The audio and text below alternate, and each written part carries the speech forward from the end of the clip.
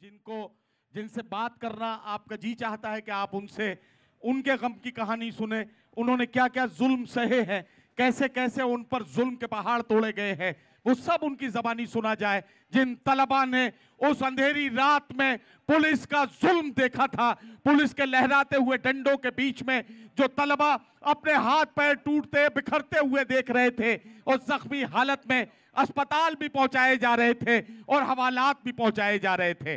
उन तलबा में से हमारी एक बहन अपेक्षा जी यहाँ मौजूद हैं। मैं उन्हें इसलिए आवाज़ दे रहा हूँ कि ये जो इनकलाब का माहौल इस वक्त पूरे मुल्क में दिखाई दे रहा है, ये इन्हीं बहनों के हौसले की देन है। क्या मैं सही नहीं बोला? ये जो पूरे मुल्क में इस वक्त इनकलाब का नारा बुलंद हो रहा है, इसमें मर्दों के हौसले से पहले हमारी बहनों ने वो हिम्मत और हौसले का मुजाहरा किया है, जिसकी वजह से पूरे मुल्क में जुल्म के खिलाफ आज लाखों करोड़ों की तादाद में लोग सड़क पर निकल कर आए हैं। संसद सड़क पर पहुँच गई है और इसलिए पहुँच गई है कि जुल्म के खिलाफ हिंदुस्तानी सर से कफन बांधकर सड़क पर उतरने पर आमादा हो गए हैं। आइए, जेएनयू से आने वाली स्टूडेंट लीडर अपेक्षा जी को आपकी तालियों की गूंज के बीच में आवाज़ दे रहा हूँ। तशरीफ़ लाएँ और अपने खिताब से नवाजें।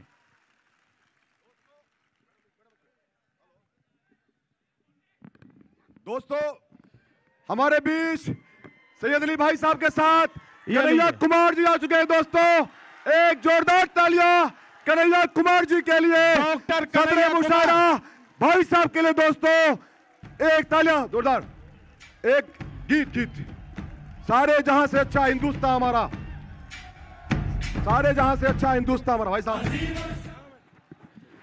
आज़ादी का दीवाना।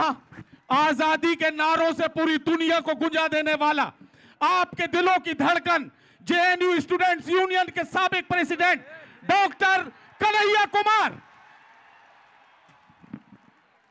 चलिए बैठिए। अब अपेक्षा जी अपने खिताब से नवाजेंगी। मैं आ, उनसे गुजारिश करता हूँ।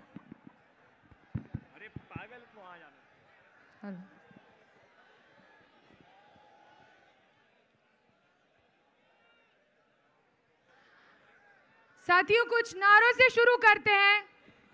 थोड़ा हौसला बढ़ाते हैं। तो इनकलाब! तो इनकलाब! अरे इनकलाब!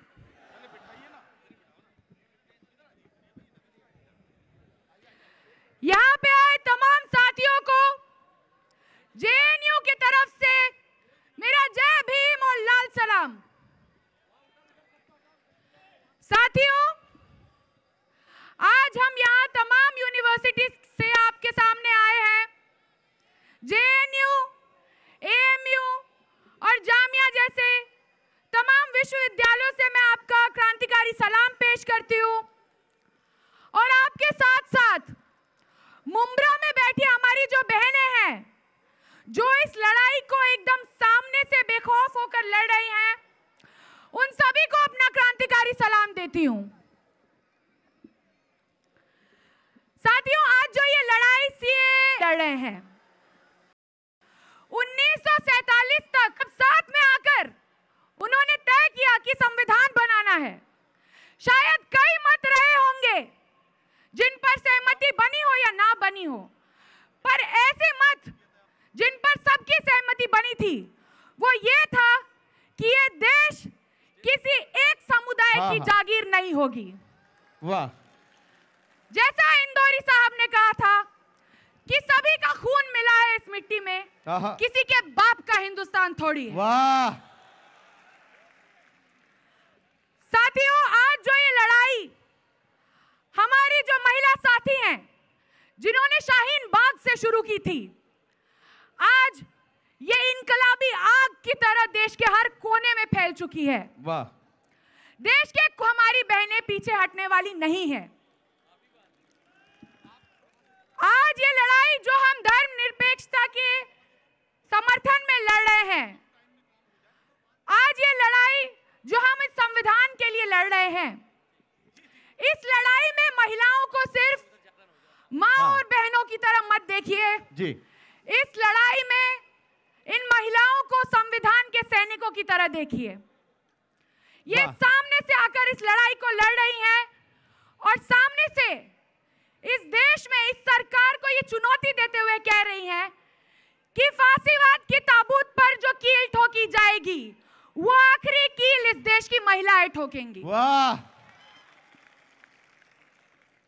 हम जो लड़ाई जेएनयू से लड़ रहे हैं जो शिक्षा के निजीकरण के खिलाफ जो लड़ाई लड़ रहे हैं उस लड़ाई को इस देश की नागरिकता से जोड़कर देखिए।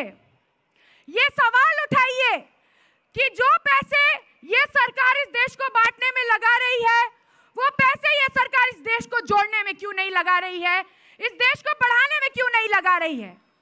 आज ये सारे सवाल उठाना बहुत ज़रूरी है।